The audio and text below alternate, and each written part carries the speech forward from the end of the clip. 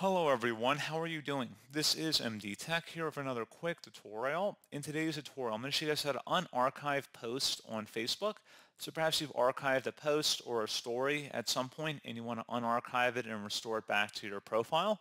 In today's tutorial, I'm going to show you guys how to do that. And without further ado, let's go ahead and jump right into it. So all you have to do is select your profile icon at the top right, left click on it, and then you want to select settings and privacy. And then underneath settings, you want to select where it says activity log.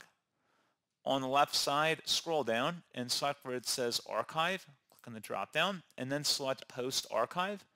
On the right side, go ahead and check mark inside the box of the post you want to restore. Go ahead and check mark that and then select the restore option. So items you restore from your profile can be seen by the audience that was selected before they're moved to the archive.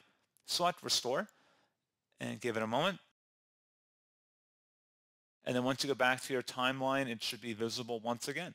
So as always, thank you guys for watching this brief tutorial. I do hope I was able to help you out, and I do look forward to catching you all in the next tutorial. Goodbye.